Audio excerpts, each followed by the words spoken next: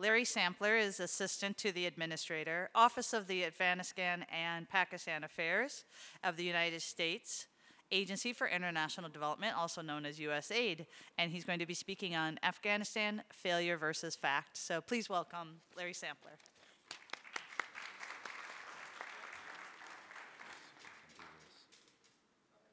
Thank you. It's, uh, it's an honor to be here. I'm pleased to be able to come to Boston and speak.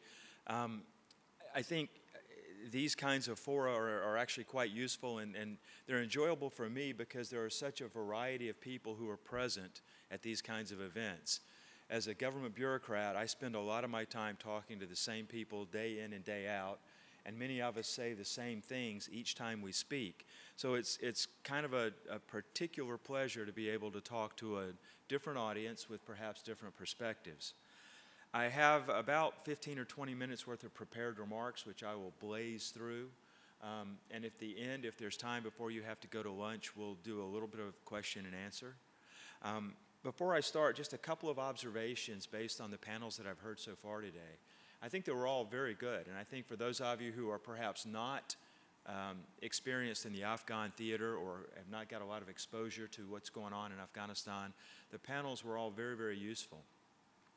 They reminded me, though, of a parable from uh, the continent of India about six blind wise men who were introduced to and asked to describe an elephant. And each of the blind wise men were introduced to a different part of the elephant. One grasped it by the trunk and said it's like a very thick, strong snake. Another by the tail, who said it's like a willow. And of course, the leg or the ear. I, I won't belabor the parable, but each of the blind wise men in his own way, was able to describe the elephant as completely as he could.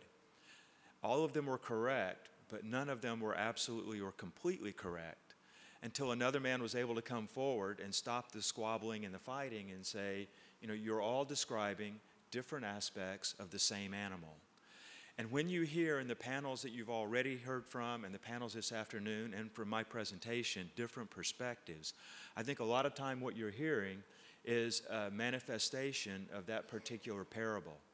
Afghanistan is, depending on who you ask, a 14 year engagement or 14 one year engagements that the United States has participated in.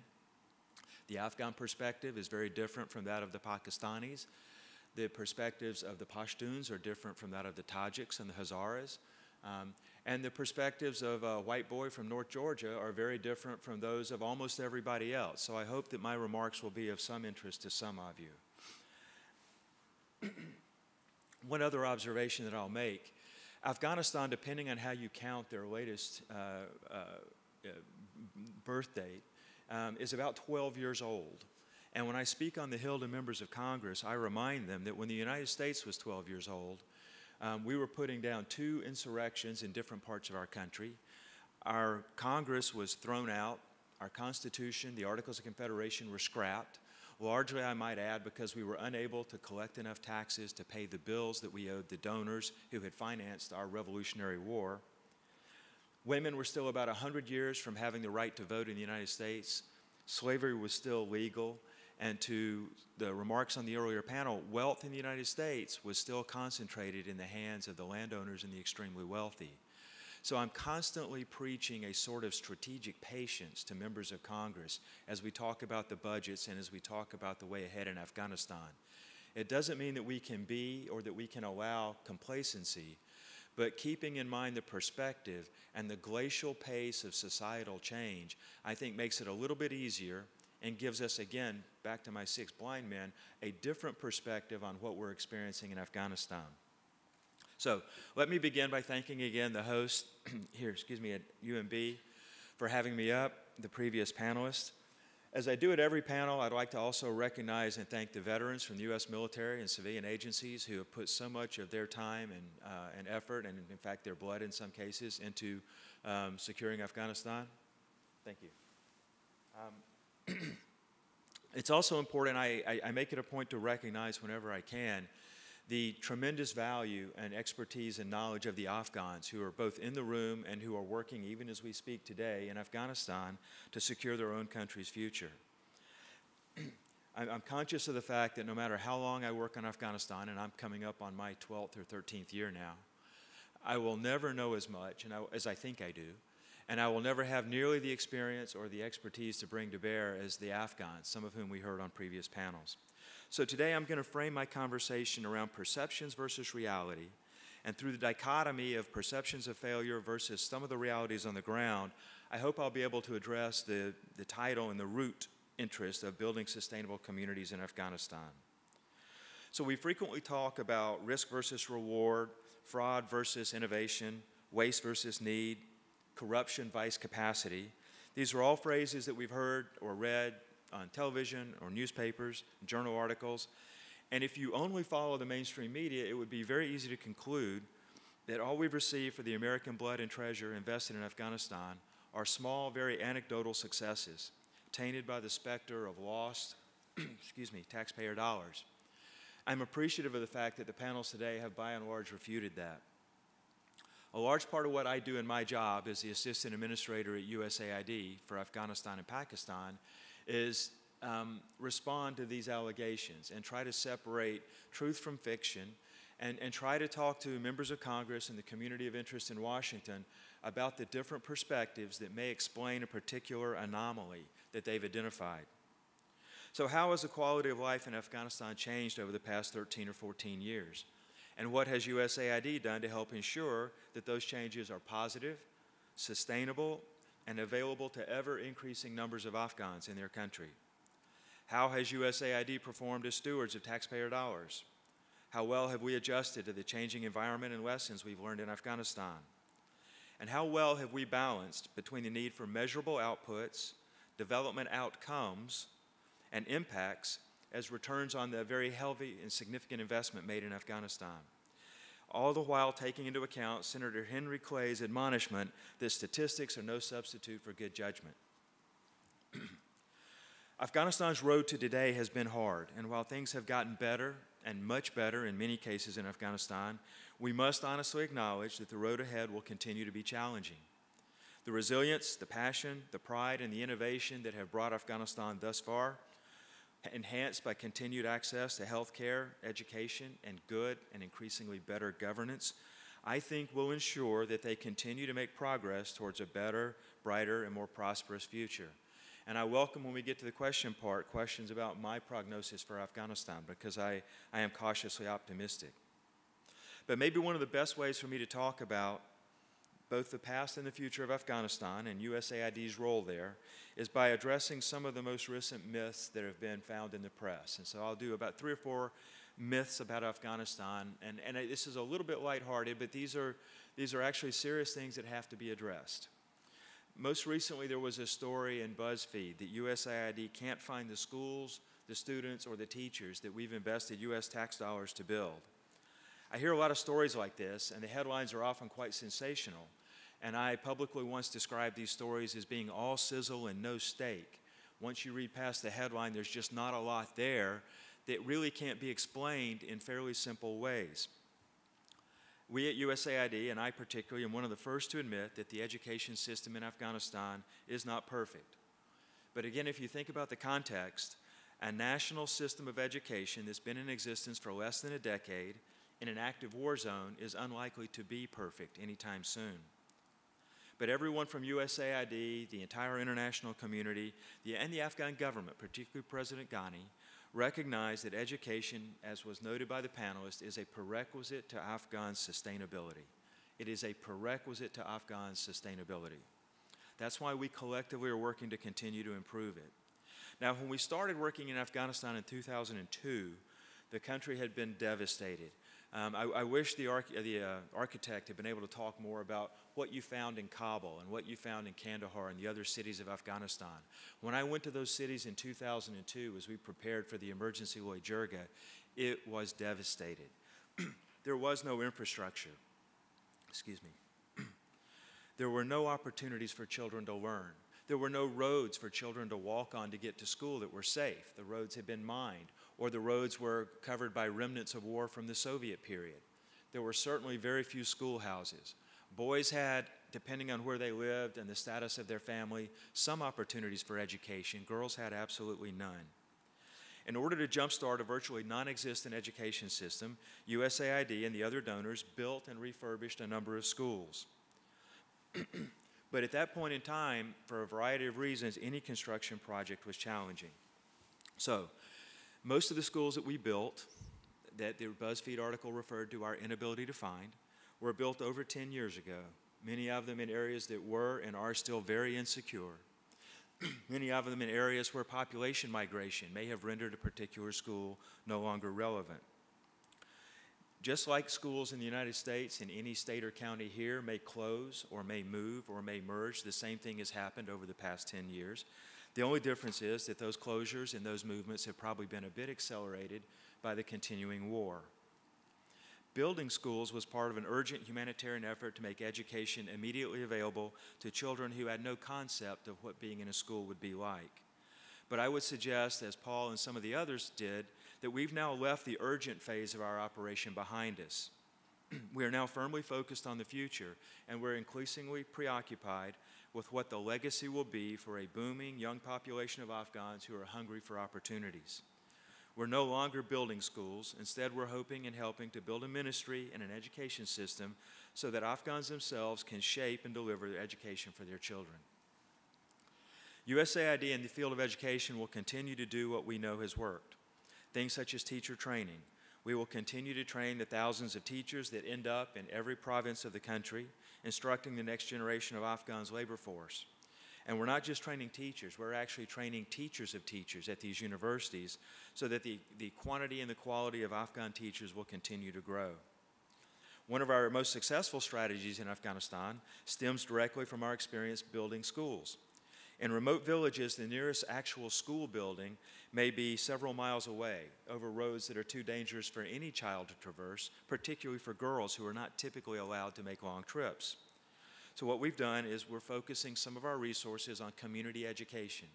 These are classrooms that are installed in a local village building or perhaps even a home with a teacher who is able to provide primary education in situ in a particular village. Um, again, this was not something that we went into Afghanistan expecting to do, but as we adjusted to the circumstances that we found on the ground, it was something that we found to be very well received and reasonably successful. Primary and secondary education continue to be important, but it would be folly to prepare a generation of Afghans to build their future and that of their country without also considering further education. So USAID continues to provide additional education for the growing cohort of career-focused young adults by supporting institutions of higher learning. Universities like Kabul University and the American University of Afghanistan provide specialized technical training needed for ever increasingly diverse job market and to fuel the economy that I think Jim was talking about. Again, I, one of the biggest changes I've seen in the 12 years I've been working on Afghanistan is the intellectual capacity that is coming not from abroad into Afghanistan, but that is being raised indigenously from the girls and boys who have attended Afghan schools from kindergarten now all the way through the 12th grade and are entering higher universities. AUAF, the American University of Afghanistan, is very proud to point out that their schools are teaching curricula that could be found anywhere in the world. So the second myth, that, that we rely, we USAID or the donor community rely on um, uh, inaccurate numbers. Thank you. I'm having a little bit of trouble with just in Afghanistan, numbers are kind of a broad measure that we use for how successful we've been. There's no question that in dealing with um, our colleagues in Congress um, and academia, and of, co of course the inspectors general, numbers are important, and I won't denigrate that. But numbers are not necessarily the best or even one of the best metrics for how well we're doing in education. It is certainly an indicator, and it's certainly something that's considered. But if we were talking about education, numbers might be the number of schools or the number of teachers, number of students in school is an important one. If we're talking about health, it may be the number of health clinics in a province. For agriculture, a number that we might refer to is the yield of saffron in Wardak province or barley in Paktia or beets being raised and cultivated in Balkh province. But again, these are just one metric. Let me drill down in health for an example. If you do a Google search for mortality or life expectancy in Afghanistan, you'll come up with a variety of different numbers. The World Bank says it's 61 years of age is the average life expectancy in Afghanistan. UNICEF says it's 60.5. The World Health Organization, not being one to be too precise, says it's between 61 and 62. the U.S. Census puts it at 51 years old based on a, on a 2006 government survey. So there's a wide disparity of the numbers. You could average those numbers if you wish and come up with a particular central number. But while it's a bit of a cliche, the truth here really is in the details. What we have to do at USAID is drill down into how the different methodologies are produced. When we look at numbers for life expectancy, we want the most current, the most credible, and the most comprehensive data that we can find. For that, we chose something called the 2010, fairly recent, Afghan Mortality Survey. It was done specifically on mortality in Afghanistan. This met our standards, it met the World Health Organization standards, and it comes up with 64 years as the average age or life expectancy in Afghanistan. It's a small thing, small discrepancy from the others, but just know that when USAID talks about numbers, we have in most cases done a fair amount of academic research to make sure we're using the best numbers that we can find. But these numbers even still require context. The life expectancy in 2002, based on the best data they had, was 42 years. So that's about a 20 year or 50% increase in life expectancy. That's not trivial. That was done by the training of doctors, midwives, and basic healthcare services that were provided by the U.S. and by other donors during those intervening years. But we also want to focus more than on length of life. Length of life without quality of life could be actually quite miserable. Healthcare to ensure quality of life is important as well. we want to build an Afghan institution that can provide health care to their population so that Afghans don't just live longer, they live better. So let me take it and make it a little more personable. Fariba Hashimi is a midwife. She lived in a remote village in Bamiyan province, and she saw close friends of hers who were of uh, childbearing age suffer and even die in several cases from, the, from bearing children without any medical attention. So Fariba, on her own, went and became trained to be a midwife. That was about eight years ago, and she is now one of the most respected professionals in her village and, in fact, in her entire community. She was focused not just on longevity of life, but on quality of life. So, with numbers, when we talk about economic growth, we might talk about the number of business associations founded or how many small and medium sized businesses have, have, been grown in a particular area. But I'll share the story of Ehsan Kahaber.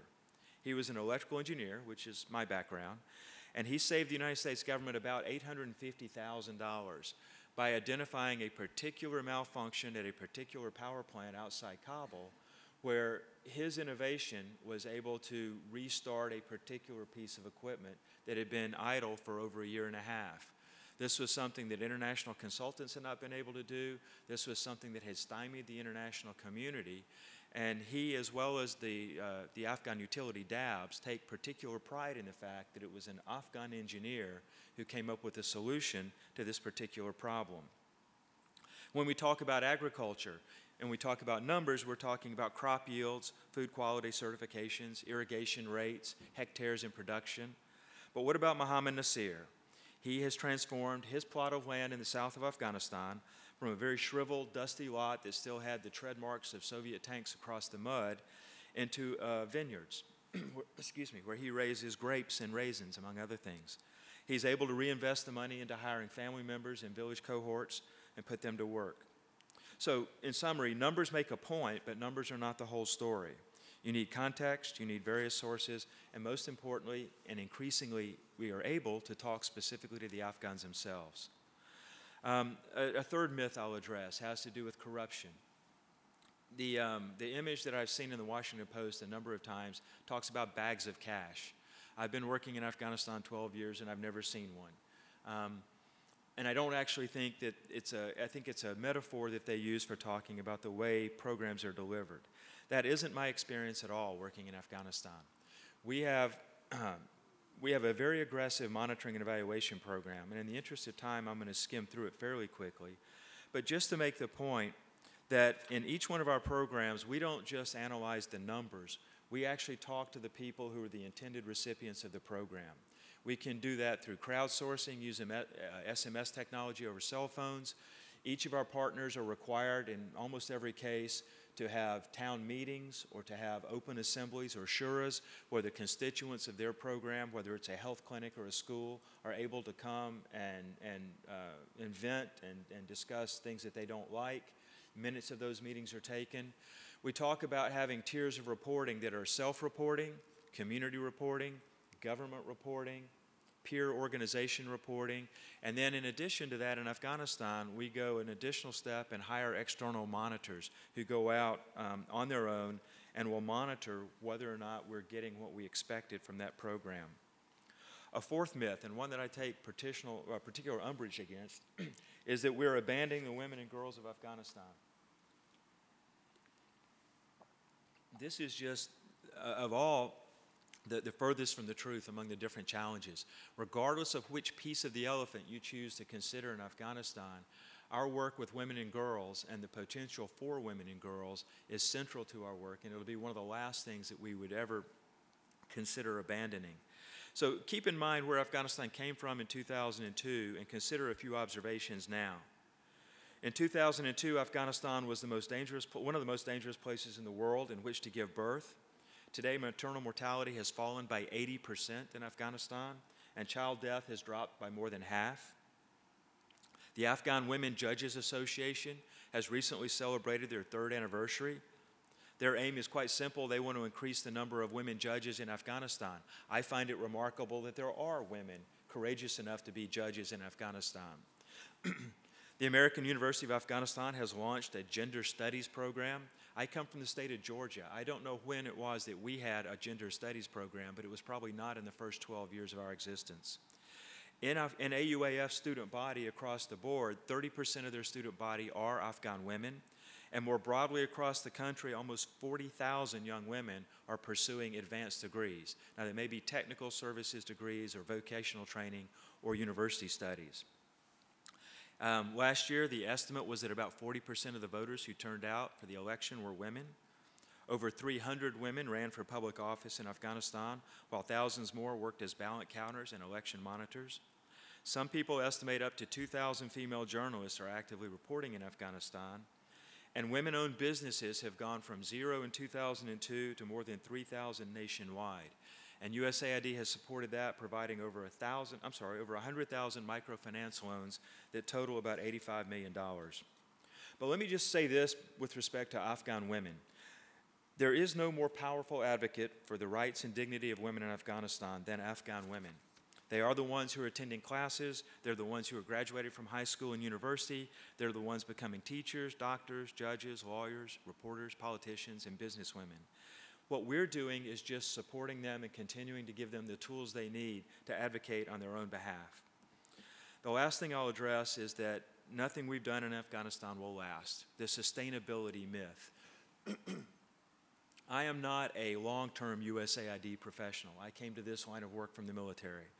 One of the things that strikes me about the work USAID does around the world is how much they foster sustainability into every aspect of their work. And that's certainly true in Afghanistan.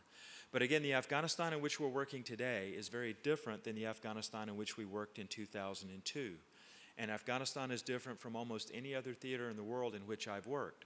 So if you take a particular program and hold it up to the light of 2014, if you aren't aware that that program was designed in 2003, it may look odd and it may look not sustainable. But when considered in context of the time during which it was designed, most of these programs include significant consideration of appropriateness and sustainability.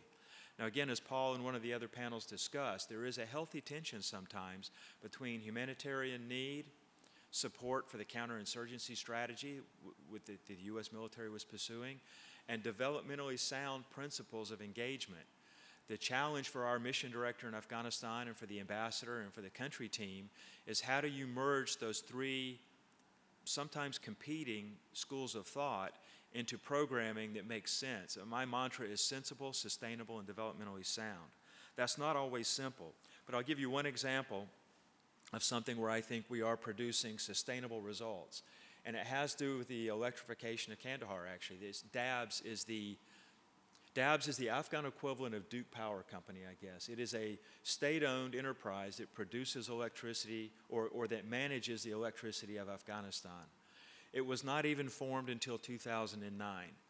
Uh, it was created as a parastatal at the time. The owners or the, the board of the DABS, the Power Authority, are uh, Minister of Water and Power and four other ministers in the Afghan government.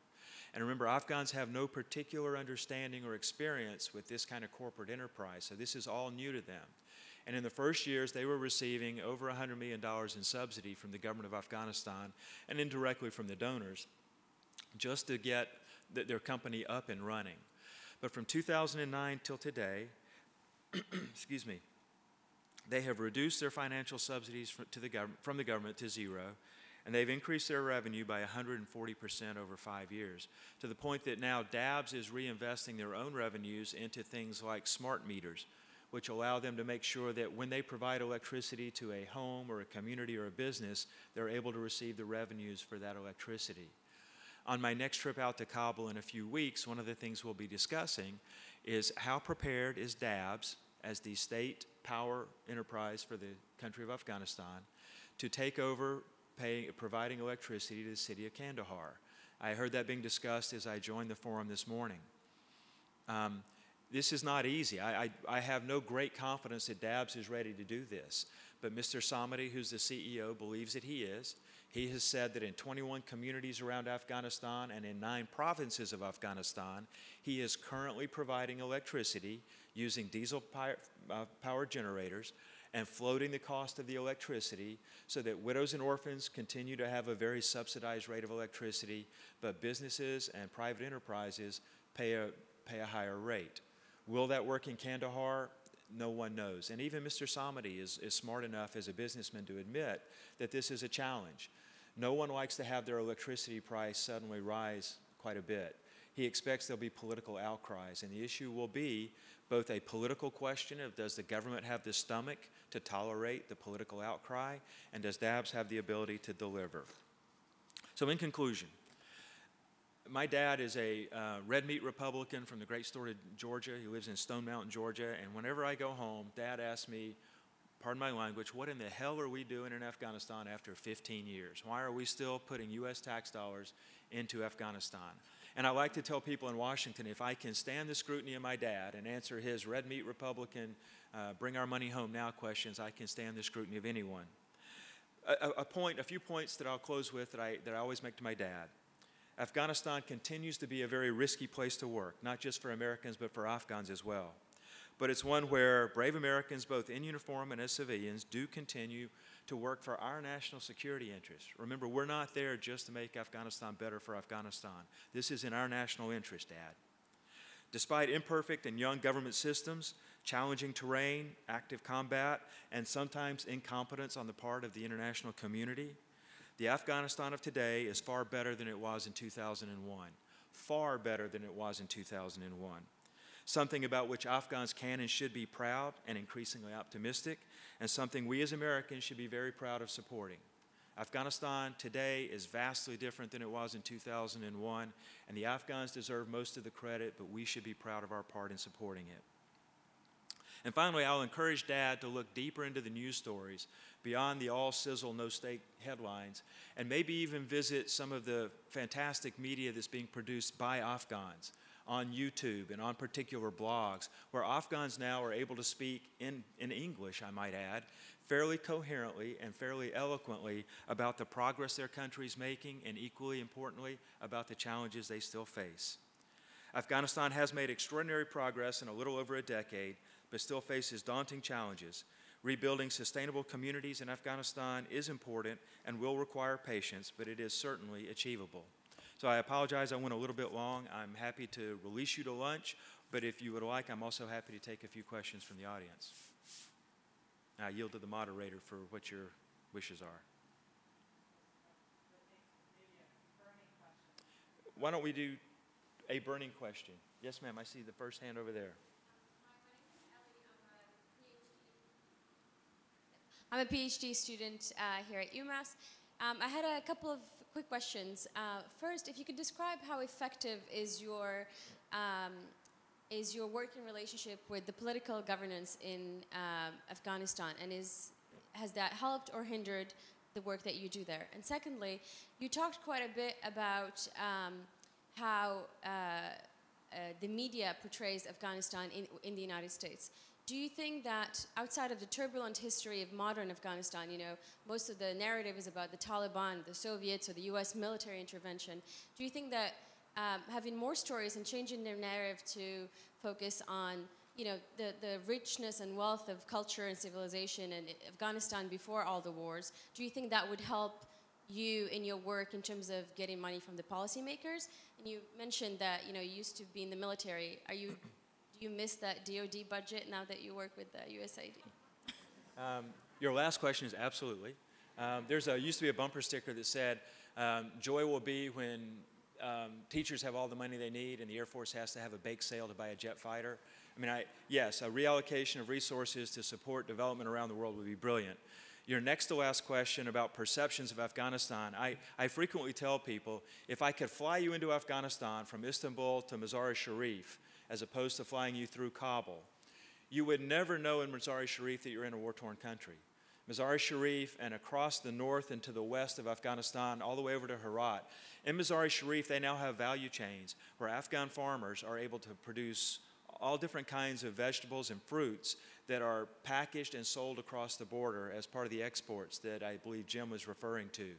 In, in Herat, there are uh, marble quarries where Italian experts are acquiring Afghan marble and turning it into things that parallel or match the Italian uh, quality of marble artifacts. So there, there are stories on the periphery of what is the big story of Afghanistan. But I was thinking this morning, you know, if, if you were looking at the news coverage of the Republican primary, all they talk about is Donald Trump much to the chagrin of other candidates, the 15 or 16 other candidates who are out there. So I'm a little bit in the position of one of the other candidates. We have a good story to tell, and there are elements of it that might even be newsworthy. But I do recognize how hard it is to sell a good news story about pomegranates in the south of Afghanistan. But that's the challenge for all of us in government, and, and I would even share the, the, the joy with the, the Embassy of Afghanistan and others in this room. We need to find ways to get to the average American the story of the benefits that their tax dollars have brought, not just to Afghanistan, but to our own national security, so that they realize there has been a return on the investment. And we need to continue demonstrating that return on the investment. Then your first question is the most challenging. Local government in, in Afghanistan is a, um, is a very different beast depending on where you are. And in fact, the historical traditions of Pashtunwali and of, of Shuras in one part of Afghanistan, they call them Jirgas in another part of Afghanistan, how the individual communities themselves govern themselves or have governed themselves for centuries is, is not something we're going to change particularly quickly. Um, there is another tension to talk about, which is modern jurisprudence and modern judicial reform with judges and lawyers and courts vice traditional systems of dispute resolution. And how do we determine which applies when? We will never attract the business that Jim Bullion was talking about to Afghanistan if the best we have to offer is a traditional two goats for your transgression kind of jurisprudence. We're going to have to have business law and commercial law that applies in Afghanistan if we're to bring outside investment in. However, we're not going to have success in my lifetime in some of these rural valleys of Afghanistan getting them to accept a Western notice, a Western notion of two lawyers arguing before a judge who came from some other part of the country. So, one of the things we're focusing on is finding ways to work with local governments and governance that recognizes and acknowledges the traditional nature of local governance in Afghanistan, but helps to ensure that it's within the, the Venn circle, if you would, of acceptable norms. They can no longer exclude women from local governance. That's not acceptable. They can no longer prevent girls from going to school. They have to begin to recognize the woman's right to divorce and the woman's right to property. These are not things we're going to do overnight. And these are things that I hear from particular communities of interest about almost every day who think that we're not making enough progress, we're not pushing hard enough on the rights of women, children, and some of the internally displaced persons and at risk populations. So, does it make it harder? No, but it is absolutely a part and parcel of almost all the work that we do because it is at the local level where most politics is actually played out. So, I hope you enjoy your lunch and thank you very much again for having me to speak.